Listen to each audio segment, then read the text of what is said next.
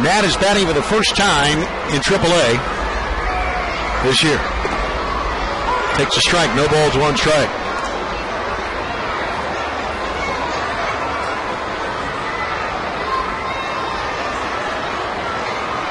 Swinging and a miss. No balls in two strikes, 0 and 2.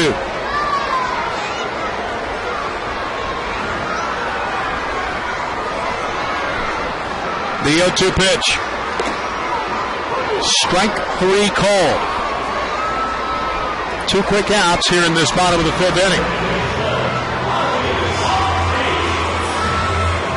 And Matt walks back to the dugout talking to himself.